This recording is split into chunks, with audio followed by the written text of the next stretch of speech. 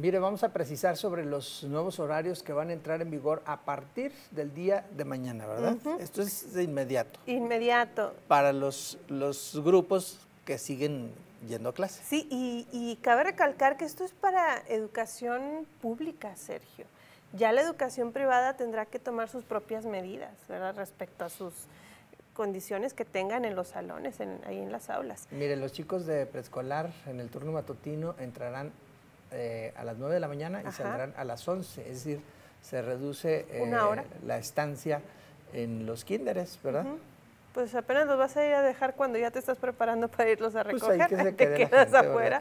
Que, agarren una sombrita. En el turno vespertino de preescolar iniciarán a las dos y media de la tarde y terminarán a las cuatro y media de la tarde.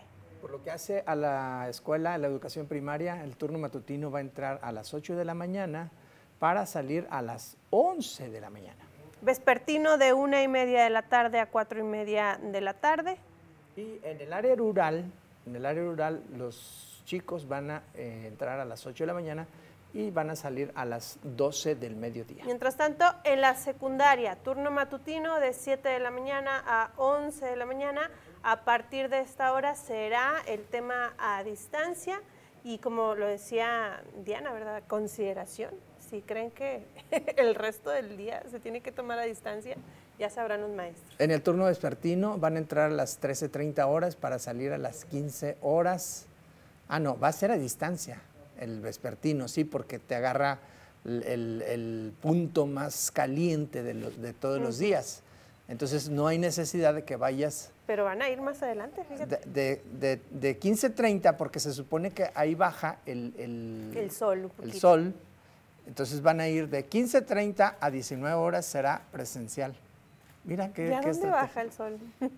Pues al, horizonte. Tengo mi duda. Sí, sí, sí. El horizonte se esconde el, el astro rey.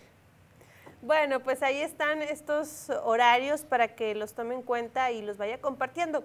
Por ejemplo, en educación básica se eliminarán los recesos lo que hará posible recorrer estos horarios escolares, evitando la exposición de los alumnos. Oye, a ver si no se nos complica ahí en las aulas, Sergio. Así es. Los papás de menores que cuenten con alguna susceptibilidad por enfermedad tendrán la facultad de decidir si envían o no a sus hijos a clases. Así son, estos son, van a ser los, los cambios que entran en vigor a partir del día de mañana, de manera inmediata.